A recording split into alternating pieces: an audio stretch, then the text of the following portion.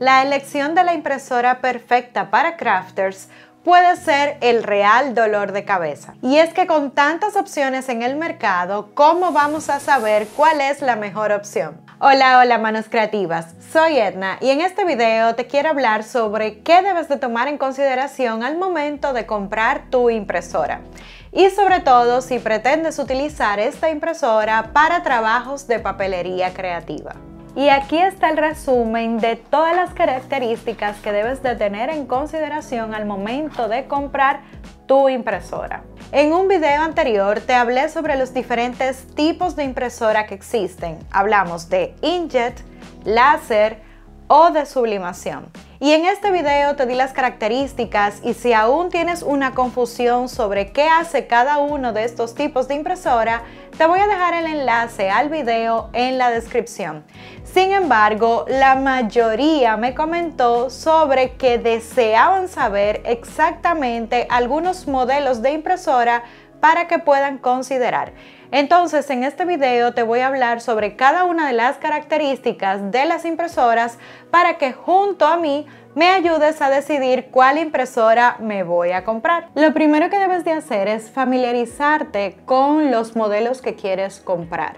Por ejemplo, si estás buscando una Canon, una Epson, una Kodak, como son las tres máquinas finalistas que vamos a ver en este video, te cuento que debes buscar en internet características, comentarios, leer blogs, encontrar videos de YouTube, así también como preguntarle a cualquier amigo o amiga que tenga ya una de estas máquinas. Sin embargo, la decisión final va a depender sobre las características especiales que tú estés buscando. ¿Quieres una impresora que sea rápida? Quieres una calidad fotográfica, pero lo más importante es que se adapten a tus características y necesidades. Otro detalle muy importante a considerar son las políticas de garantía y el soporte técnico que puedas tener respecto a estas impresoras. Aquí a mi lado tengo la impresora que me ha acompañado durante más de cuatro años y la verdad es que ha sido una excelente decisión, pero me voy a comprar una impresora nueva y aquí te voy a mostrar mi proceso para decidir cuál modelo será. Así que ahora voy a la pantalla para mostrarte el modelo número uno. El modelo número uno que estaremos viendo es la Kodak Craft Verite es justamente esta que tengo acá. ¿Y por qué te quiero hablar sobre la máquina que tengo aquí al lado, que ya la tengo y no necesitaría comprar otra? Es que salió una nueva versión. Entonces, lo primero que haré será decirte cuáles son esas características que para mí no pueden faltar en una impresora.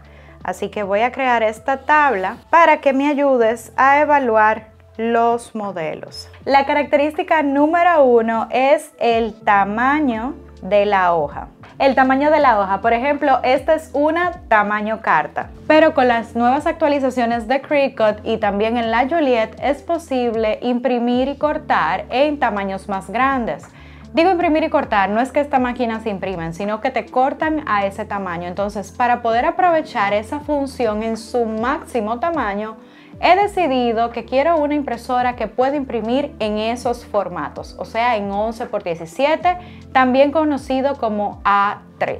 El segundo renglón que vamos a ver es el grosor o tipos de papel. Esto es sumamente importante porque incluso depende en la forma en la que se puede ingresar el papel a la impresora, el grosor que va a poder adquirir esta para transferir la tinta. Esto te lo digo porque realmente en papelería creativa necesitamos papeles más gruesos y en ese sentido es muy importante que estas máquinas puedan tener, soportar este papel y que no se traben al momento de hacer las impresiones. El tercer renglón que estaremos viendo será la calidad de la imagen, también conocido como píxeles o también se le conoce como DPI. DPI es la descripción que vamos a encontrar en las páginas al momento de que estén hablando sobre este renglón en particular. Y por último, pero no menos importante, y en muchas ocasiones el factor decisivo es el costo tanto de la impresora como de las tintas, porque aquí es donde está el truquito adicional, costo del print y de las tintas. Para mí, para Edna, estos son los cuatro renglones más importantes al momento de decidir qué impresora comprar. Como te dije anteriormente, yo tengo la Kodak, pero esta solamente imprime en un tamaño de 8.5 por 11 pulgadas, una hoja tamaño carta regular. Esta es la Kodak Craft Verite y esta es la que yo he tenido durante todo este tiempo. Con la nueva adquisición de la Juliet y con la actualización de Cricut, ahora yo quisiera tener una impresora que me imprima en tamaño 11 x 17. Aquí voy a hacer un stop porque en ocasiones hay modelos que podemos encontrar en la zona de Latinoamérica que en Europa tengan un número diferente. Y esto me pasó con una de estas máquinas que aquí en mi país, que es donde voy a comprar la impresora, tiene una numeración y en Amazon, cuando fui a buscar la comparación de precios en Amazon, tiene otro diferente. Sin embargo, estamos hablando de las mismas características de la impresora y eso te lo voy a mostrar ahora más adelante. Cuando queremos hablar sobre los tipos de grosor, nos vamos a ir a la página de la impresora y vamos a buscar las características.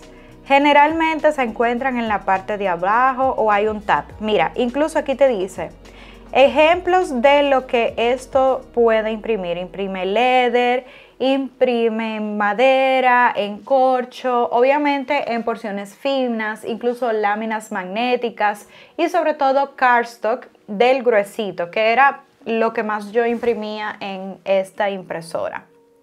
Entonces, aquí te explica cómo funciona la máquina, cómo se coloca el papel y aquí tenemos los datos que nos interesan. Algo muy importante de estas impresoras es que la mayoría tienen varias funciones, o sea, ellas sacan copias, son escáneres, pero la verdad es que esas funciones por mí están de más porque yo no la uso para eso. Pero si a ti también estas funciones te interesan, pues aquí tienes todas las especificaciones alrededor de ella. Aquí vamos a la parte que nos interesa, la parte de print. Esto dice que imprime en un tamaño de 4800 por 1200 dpi. Es una muy buena calidad, es una calidad bien estándar, pero superior. Entonces, ella aquí nos habla de el tamaño y que puede imprimir eh, sin bordes hasta 8,5 por 11. Eso está súper bien. Y aquí nos habla sobre los tipos de papel. Eh, ella la verdad es que puede tener una variedad de papeles, o sea que para mí está... Le voy a poner solamente un check porque sé que tiene variedad de papeles y el que yo necesitaba imprimir, que era un cardstock, lo imprimía súper bien por la ranura trasera. Y aquí voy a aprovechar y voy a parar para mostrarte esta impresora. Por aquí es que se coloca el papel regular, ¿verdad? Aquí tú puedes poner papel fotográfico, el que tú quieras, todo tipo de papel. Pero cuando te mencionaba que ella puede imprimir sobre eh, algunos grosores de madera, sobre corcho bien fino, leather y demás, todos esos papeles, incluso el cardstock, se colocaban en esta ranura de aquí atrás. voy a acercar a la cámara. Por aquí atrás. ¿Y eso qué hace? El papel se mantiene derecho todo el tiempo y esto mejora muchísimo el proceso de impresión e impide que el papel se trabe. A veces, si yo lo colocaba por arriba por rapidez, solía trabarse cuando trabajaba con el cardstock más gruesito. Ahora para los costos, esta básicamente la tengo por acá. Está costando 560 dólares. Y los reemplazos de la tinta son 60 dólares. ¿Qué pasa? El juego de tintas es de, de cartuchos, o sea, es así de que si se acaba el amarillo, no importa que tú tengas azul y rosado, o sea, ya no te va a servir el color porque ella tiene los colores unidos en un solo cartucho. Para mí eso es un defecto que no estén individuales porque muchas veces me pasa que yo tengo un diseño de un color en específico con muchos tonos de ese color y cuando vengo a ver el cartucho tiene el rojo al 100% pero todavía ya perdió el azul y el amarillo le queda poco. Entonces eso me hace tener que comprar un cartucho completamente nuevo cuando solamente era un solo color que me estaba haciendo falta. Eso es una desventaja de trabajar con los cartuchos, sobre todo los cartuchos que comparten el mismo color. Así que ahora voy a pasar a la segunda opción que estamos hablando de Canon y el modelo se llama Pixma TS9520. Y fíjate cómo aquí puede imprimir en todos estos tamaños y aquí te muestro 11 por 17 y 12 por 12 pulgadas. Eso está súper excelente para nosotras que somos crafters y que nos gusta también muchísimo el mundo del scrapbooking porque nos permite crear nuestros propios papeles a este tamaño. Así que eso me encantó de esta impresora. Aquí también vemos la compatibilidad de los papeles, dice papel eh, normal, papel de alta resolución, super high glossy, eh, el glossy también, semi gloss, mate y otros como tarjetas, eh, las hojas de transferencia para los t-shirts, así que funcionaría perfectamente con el Easy Color DTV de Caesar. Eh, sobres y demás. Entonces, además de todas estas especificaciones que vemos en la página, yo busqué en internet sobre esta impresora y hay una crafter que yo admiro muchísimo, es de Estados Unidos, ella se llama Amber, la conocen como Damask Love ella hizo un video explicando sobre los varios modelos de Canon y cuando ella habló específicamente de este, mostró un montón de opciones que se pueden hacer y la verdad es que desde que vi ese video dije, necesito esa impresora. Esta impresora ahora mismo en Amazon está en oferta.